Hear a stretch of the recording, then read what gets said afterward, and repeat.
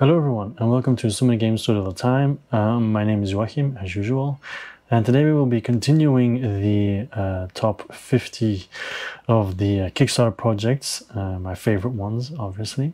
And today we'll be doing uh, 30 to 21. So let's just jump right into it shall we? Number 30 is Odyssey. So, well, basically Enchanter's Odyssey. You see here the Kickstarter, uh, Odyssey plus reprint.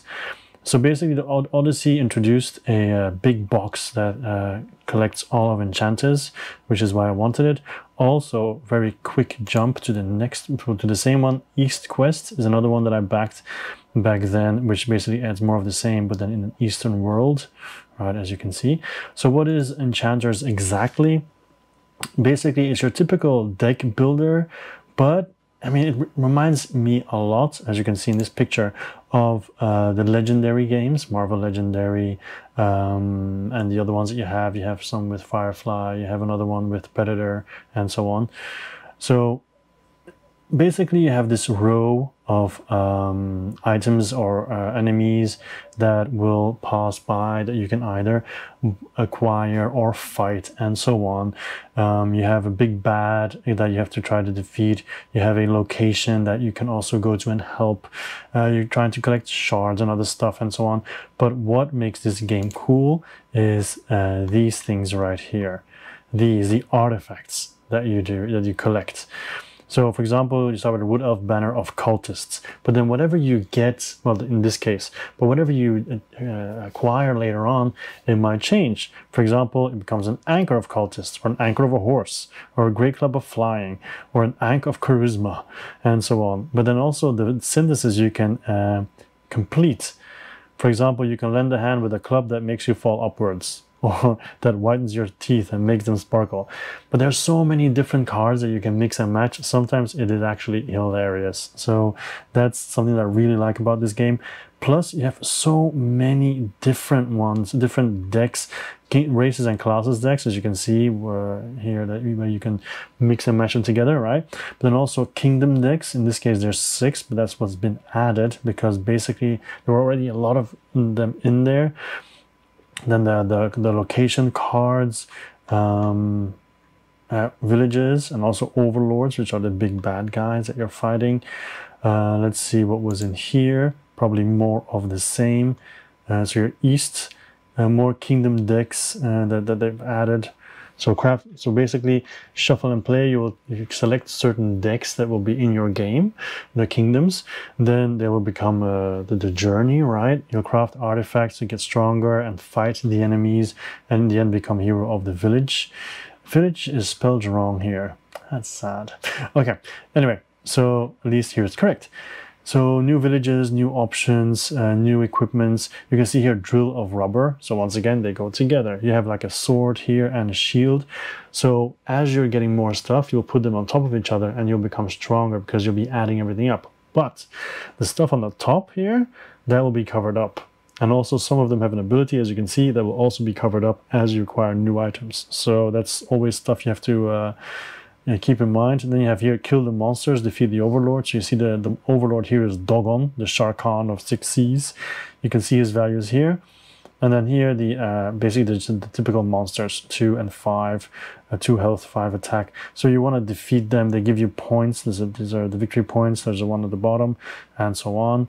So yeah, basically a fancy version of Marvel Legendary, but then with a lot of original twists to it really love this game because the variety, you know. Okay, and so why is it so low then, only on 30? Because I don't play it enough. And uh, I don't think the, the solo mode was okay. But I actually just play it more, to be honest. Ah, yes, the big box, the deluxe box, was really bad. So I should just get an insert or something. Okay, that was Odyssey. Um, well, not Odyssey, that was um, Enchanter's Odyssey. Yeah. There we go. Then number 29 is Gugong, uh, the Panjun Deluxe expansion. So basically the deluxe big box that you see here. Um, I already liked Gugong back in the day. And then they came out with this deluxe version and I really wanted it. Short story, I got it delivered in Belgium, but then COVID happened, um, and then they had to ship it to me anyway. So I actually paid more than most people. I paid shipping to Belgium and then shipping to uh, Hong Kong. So what is cool about this? It's a worker placement game, but you can see these red cards over uh, everywhere, right? So these red cards are gifts, uh, gifts to the emperor. So if you want to go to these locations where you can do actions and acquire things or bonuses and points, the typical worker placement stuff, right? If you want to do it, your gift has to be a higher value of what's already there. There's a three there, then you can add a four or a five or whatever, and then you take the three and put it in your hand. Here's some more examples here, two, four, nine, six, seven, eight, although that's more from the expansion stuff. Um, also more expansions here, here, stuff at the bottom also what is original is in the middle of the game here you have the the temple and you have to reach the top of the temple otherwise you don't score if you don't reach the top of the temple at the end of the game you don't win you cannot win you won't even score you'll just basically eliminate it right? So there's also always a push to get that. Also, the cards, as you're playing one card, you'll be picking up the other. So at the end of the game, end of the round, you'll have a certain amount of cards still in your hand. They have these dice here at the, at the top here, these three blue dice. The, if your uh, cards match the dice, you'll get bonuses as well, uh, victory points and so on. I remember playing this the first time, doing playing horribly, but in the second time, I immediately tripled my score. So it definitely takes a while. Have I played the expansion yet? No, but uh, I haven't played solo either but always fun with other people. And you can see it's also very beautiful. So a typical worker placement game, uh, point salad, because you can get points everywhere. The top uh, section is travel. Um, here you have the great wall that you're building. Here you're trying to get jade. Here you get uh, end game and bonus uh, actions. Here you are, uh, is it intrigue if I'm not mistaken, going up the track because then you can spend that to get other stuff. You can see the four stuff here. Here you are uh, going down the river with your boat where you can get a double worker. Uh, it's just two guys stuck together that give you double rewards and all that kind of stuff. So yeah, basically very typical worker placement game, but very nice, very beautiful, and very cool. Okay, so that's Gugong. Then 28, we have Masters of Wills, uh, Master of Wills Waterborne. Now you can play Master of Wills uh, on an app as well for free. Uh, of course, you can pay money to to unlock more decks and so on. So if you want to try this out, just download it and play it. Okay. Now this is kind of a tricky game because this is expensive for what it is, to be honest. But I like the theme. I like the card play. You know, they, these are all the different factions you have. Waterborne was the new one that was introduced, but the main game is Master of Wills. You also have Alpha Guard, Razor Core, Dawnlight, Shadow Cell, Cloud Echo, Edge Hunter, and Blood Crown. Now I only have Waterborne, Alpha Guard, Razor Core, uh, and uh, Dawnlight, I think. So I only have four of them. So let's uh, have a picture of the actual game. Is it, do you have a picture of the actual game where it's in progress? Because it just shows what you can buy. But uh, no, zero pictures of the game in progress. That is kind of uh, bad. So let me just quickly uh, go to uh, BGG. Okay, here we are at BGG where we have a uh, image, a picture of the actual game. So what happens in the game? In the beginning at your turn, starting your turn, there will be a certain amount of cards in the middle of the uh, board. Let's say the left section is you, the right section is your opponent. Now, as you as it is your turn, you're going to choose a card to play. Now, first of all, you have the values 2, 11, 7, 4, and minus 2. Those are points. Now, those points, they will only be counted at the end of the game, right? So now these cards will be moving around. So for example, let's take uh, the, the top one here. Um, I can't really read where it would end up. Normally it would end up either in recruits or uh, loyalists or here at the end, which I've forgotten the name of. So if it's at the last column, it will get stuck and it will be scored for sure. So in this case, this player has minus five, seven, so two points, seven points at the end of the game. This player already has 22 for sure at the end of the game. You're going to be choosing one. So let's take uh, the, the black two, right? So it'll go to your side, either recruits or loyalists. I can't really determine here uh, which way it goes, but normally when you see the card, you'll know. But then the cool part about this, it says it says orange minus one. That means one of the orange cards will go towards your opponent. It'll go away from you. So I say cool, but in this case it's bad because the five I will either go uh, one column to the right, or the 11 will go one column to the right. And there's black minus one, and also purple minus one. So that's how it that's how you play you choose one card move it to your side or the other side if it's a minus so if you were, were to choose blue it'd be minus two it would go to here and then be, uh, be blue uh, plus two i think and then plus two gray and plus one orange so those cards are going to be moving around the whole time. And some of these cards also have a helmet, like this orange one has a helmet. If you have the helmet, you get to play one of your special cards that will then be put at the bottom somewhere or instant action that can change the whole flow of the game. So every round you're basically calculating what the score are and you're trying to influence stuff, trying to move cards away, trying to kill cards because you can kill cards as well in the afterlife and then they might come back into the game with other cards, special cards. So they keep moving left and right. Uh, every faction plays very differently. There are a lot of uh, community cards. So there's this big stack. They're the ones that come out. It can be just four cards on your turn. It can be like eight cards of your turn to choose from. It is uh, pretty wild. I feel. So um, yeah, I like this game and maybe I should try to make a video about it to show you more how it works. Although this play, playing this solo is pretty impossible. You need to have someone to play it with. You can see here, recruits, loyalists, and allies. Yeah, those are the names uh, of the cards. Uh, yeah, where they go to. Also, all these cards have specific um, uh, types like some are religion some are uh, military some are they all have different things uh, journalists as well i think. There's a bunch of them. Although it says here uh, solo so maybe i should give it a try. It should be there. Eh, good to know. All right so that's master of wills. Let's continue with number 27 right? That is uh, winterborne. So once again born but this time it's winterborne. So winterborne when you go uh, of the looks, I mean, I think it looks kind of cool, but basically you're Vikings, right? You're a Viking tribe, and you uh, you can see it Winterborne clans. Sorry, not a tribe. You're a clan. Uh, House Serra, House Sangaren, House Kogula, and House Morteria.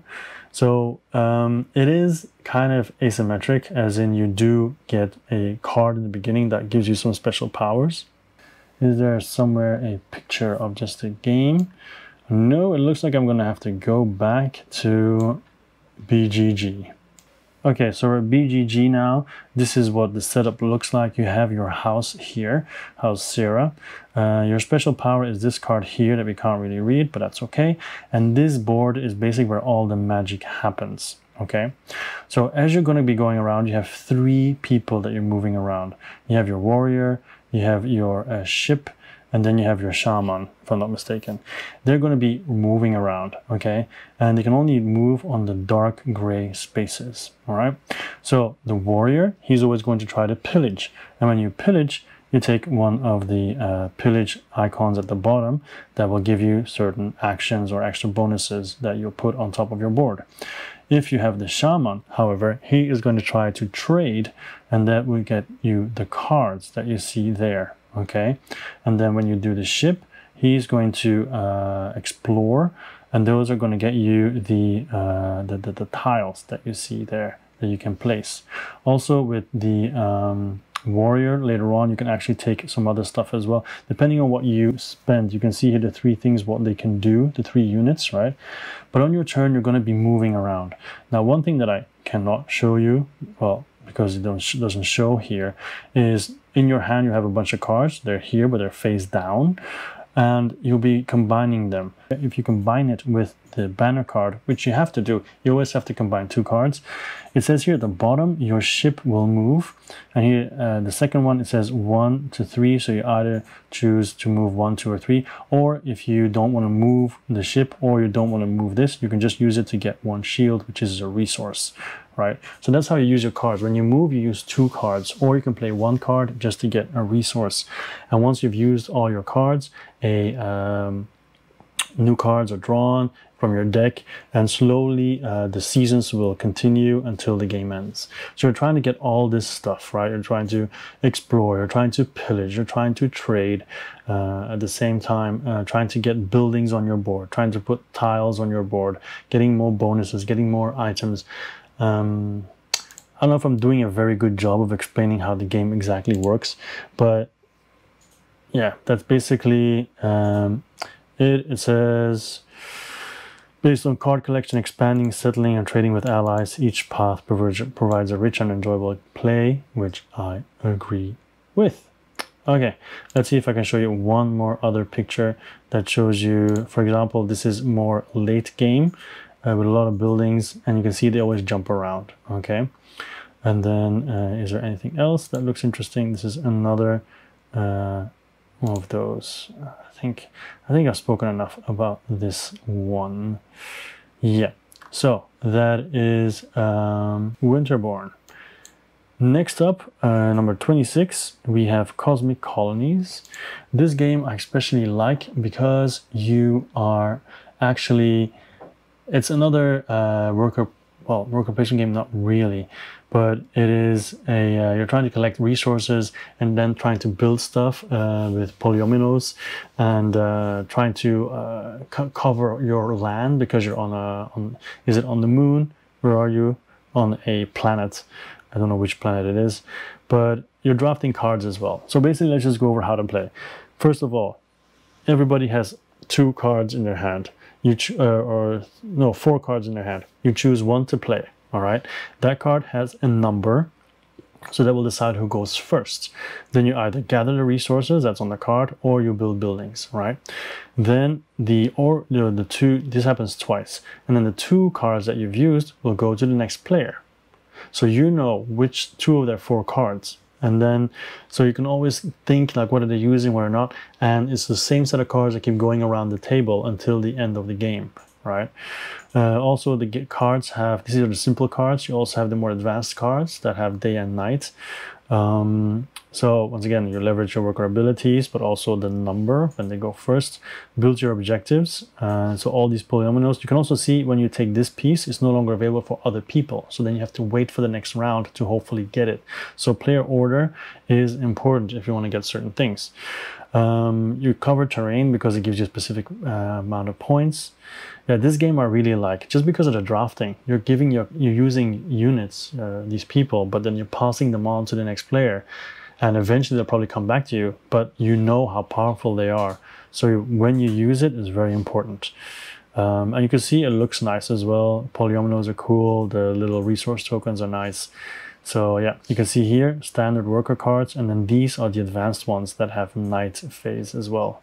When you have night phase, for the first one use the day phase, second one use the night phase, stuff like that.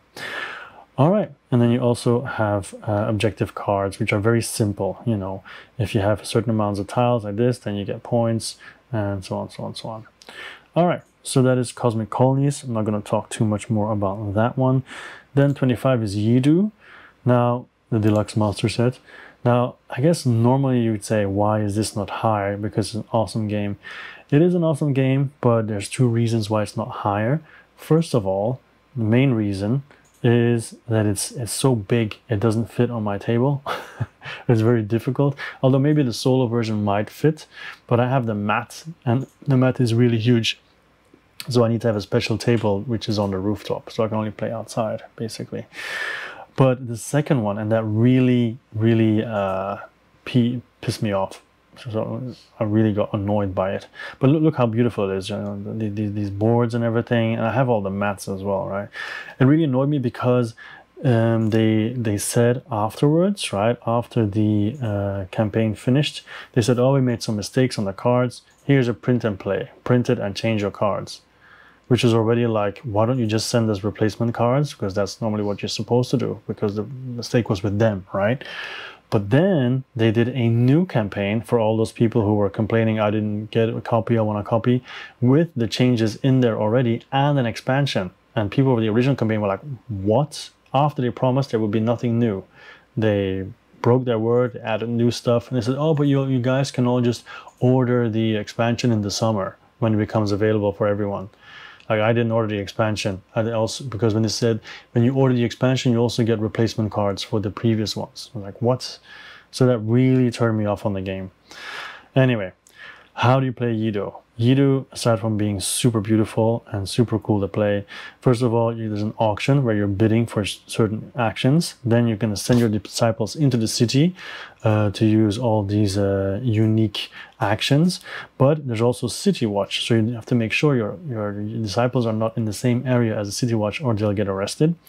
Um, you can also send to your clan board to activate districts, and then you're trying to complete all these missions that can also have consequences. Also, you can actually change the direction the, the city watch goes or make the move or not move so actually trap your opponents also when you start a game you have different decks so you can choose what kind of cards uh, missions will be in the game which is also really, really cool. There's a lot of variability in there. So you can see it just looks really, really pretty, all these uh, acrylic tiles and so on.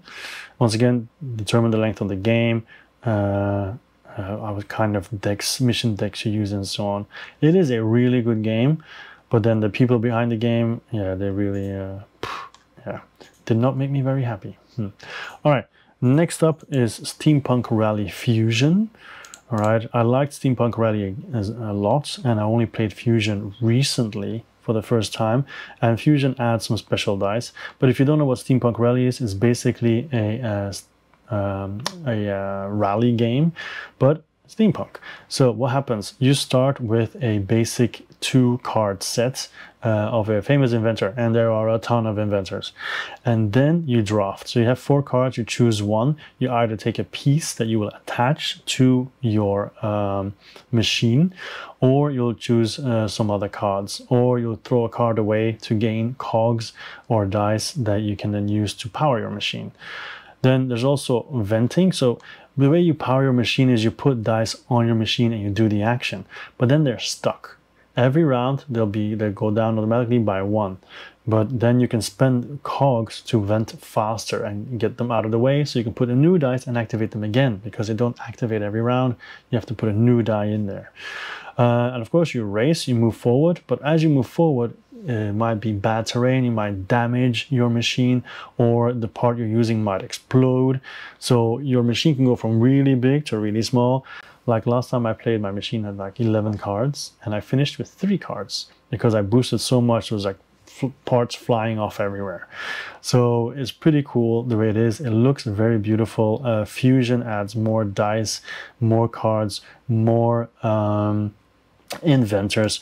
And you can see here click to make it larger. It is very beautiful as well. Like this machine is actually now completely closed. Oh no no it's not. Alan Turing here at the top you still have a gap.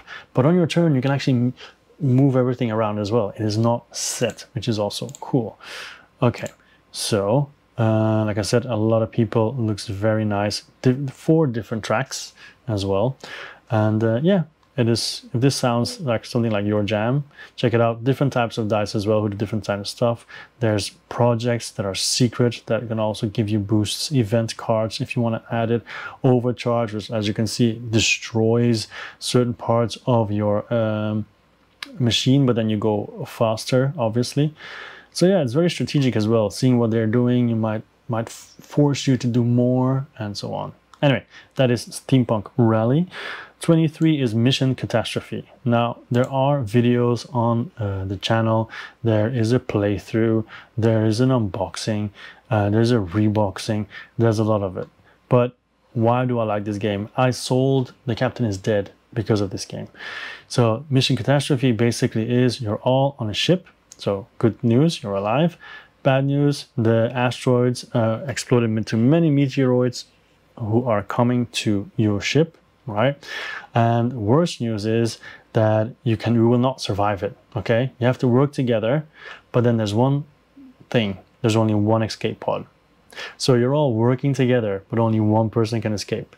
So you're trying to keep the ship alive and also trying to be the one who leaves. So it's pretty cool. It gives a cool dynamic. There's also solo mode, which is nice.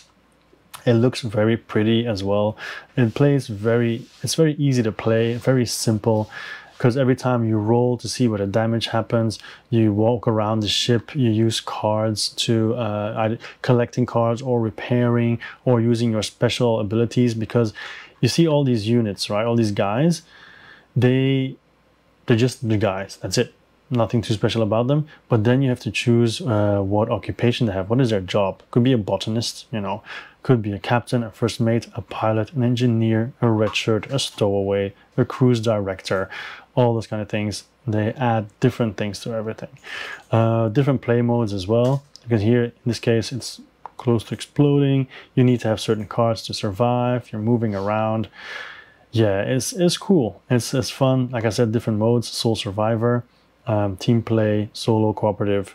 So yeah, check it out if this, if this if you like this because it's cool. I really really like it. Um, okay, Mission Catastrophe. That is 23. 22 is In Too Deep, another one that I have a lot of videos on uh, on the channel. Um, also unboxing, I don't think a reboxing, but just unboxing and some playthroughs as well, solo and with other people. And basically, in a nutshell, um, you are controlling uh, criminals uh, to do your bidding, and you are trying to. It says crack the case before the case cracks you, cracks you, but there's not a lot of theme here. You're just trying to uh, solve the puzzle. So on your turn, you're going to have some missions you're trying to accomplish, and by you can accomplish this by basically taking over these guys that you see, right? And moving them around, having, making them do their special actions in the city. Is there a picture of the main board or something? Dun, dun, dun, dun, dun, dun, dun. You can see here the miniatures look nice. They all have their specific uh, bases. Uh, so you can recognize them. There's a sentinel who is like an expansion who uh, walks around and has uh, effects as well. And there's some uh, storylines that you're following, but let me show me, show me the way. Um, bum, bum, bum, bum, bum. I guess here's where they explain how to play.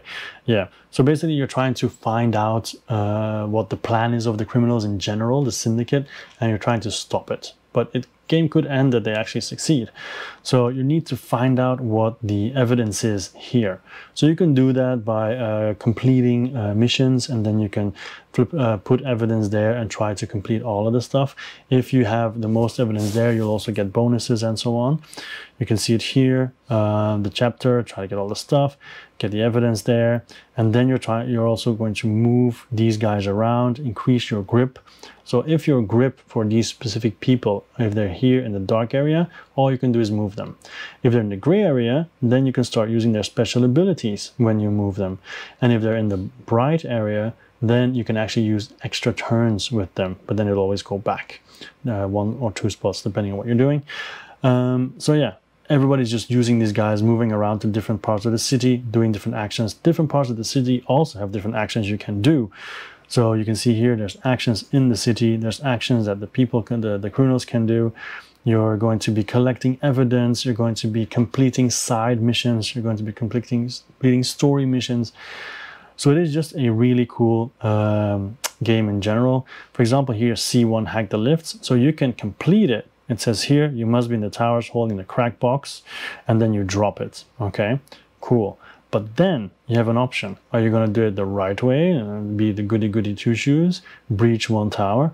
Or are you going to be like the hardcore guy who doesn't care about the consequences, take down the grid? So you're going to get more stuff, but you're going to get more red cards. And these red cards are corruption. And corruption could potentially give you a lot of negative points in the game, depending on how it pans out. Okay, I once had minus 28. yeah. Basically, when you have the most corruption, it's minus if you don't have the most, it doesn't count. So I had the most. All right, so yeah, all that together uh, is a really, really cool game. Check the videos if you're interested. That was In Too Deep 21 is Too Many Bones.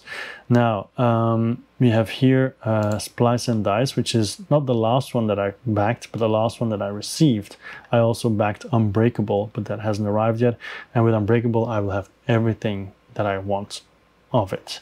My, uh, my trove chest, which you see here, which is a storage solution for the whole game and which is awesome, is full. My plan is to make a video about it to show all the stuff that's in there and how amazing it really is. But yeah, so that one's in there. Um, actually, can I go down? Yeah, here. So you can see it, you actually have to use a magnet to pull it out. Okay, Kallax friendly because it fits in there. All, all these different cool trays for all the stuff that you need. Yeah, so very, very, very nice. Anyway, So what is Too Many Bones? Basically, you choose one, two, three, four characters and you're going on a trip uh, where a certain X amount of days trip where you'll be fighting enemies until you finally uh, fight a big baddie at the end. And, and that's basically what it's, what it's like. But um, I think it might not have the typical um, picture here because this is just a specific expansion that actually does a lot of stuff differently. So let's go to BGG. So here you have a good picture of somebody who's actually who actually has a really nice setup. So here at the top, they have the adventure map. So you're starting at the, the bottom and you're trying to get to the boss at the end. And this little tracker here uh, shows the days. Um, there's also events and loot that might come out. Um, here at the bottom, these two are the units that they have. And when you are going to reveal the first day or second day or third day, depending on whatever happens, and enemies appear, they will come here on these uh, colored X's, depending uh, whether they're melee or ranged, might be different because you can see the swords and the bows. And then we will place our guys either on the bows if they're ranged or melee if they're melee. And then we'll be checking the uh, uh, the turn order, uh, initiative order, and then we'll be fighting. You can see here the numbers there, they're starting uh, abilities. You have attack, you have defense, you have the amount of dice, special dice that you can use as well. And after battles, you get XP, and then you'll be able to unlock all these skills you see here. The skills are also explained here alongside what the dice do and so on. So it takes some research in the beginning of the game, getting to know your character, but here you can't really tell, but here they also give you the difficulty and so on. So you can always start with someone easy and then uh, level up later on. What is also cool is your character is a stack and the red discs are your health. So as you're moving around and fighting, they will decline. The same will happen to the enemies uh, who will also come out. So very beautiful game, very cool to do it. It's also often very funny, has special uh, stories and so on. Definitely worth uh, worth it. Now, many people would be like, huh, why is this on 21? It should be a top three or top five. Once again, I haven't played it enough. I've been mostly collecting it now because my trophy chest is now full. Um, so yeah, I should definitely get it back to the table, especially solo. So that is uh, too many bones. Let's continue. Oh, no, let's not continue. Is it? Is it from 30 to 21, right? Yeah. And that's it. That's all uh, we have for today. Um, well, for today, for this video from 30 to 21. I uh, hope you enjoyed it. Uh, the others will be following as well. Sometimes there's a bit of a gap that could be for a multitude of reasons. Uh, I'm just too busy, you know. But uh, it will, we will get to number one. Don't worry about it. So let me know what you think of all the games that I've talked about. Are there some that you didn't hear about or haven't heard about before? Are you interested or how do you feel about it? Like, oh no, it should be higher or why is it so high? whatever. Okay, feel free to give your opinion. If you want to see videos of certain ones, also do tell me and then I'll do my best to make them. All right, this is it. I was Joachim. So many games, so little time. Have an amazing day. Bye bye.